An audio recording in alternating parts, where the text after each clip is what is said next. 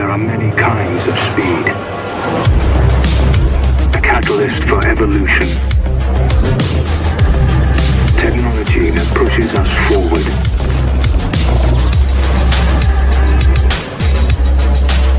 Giving us the tools to adapt.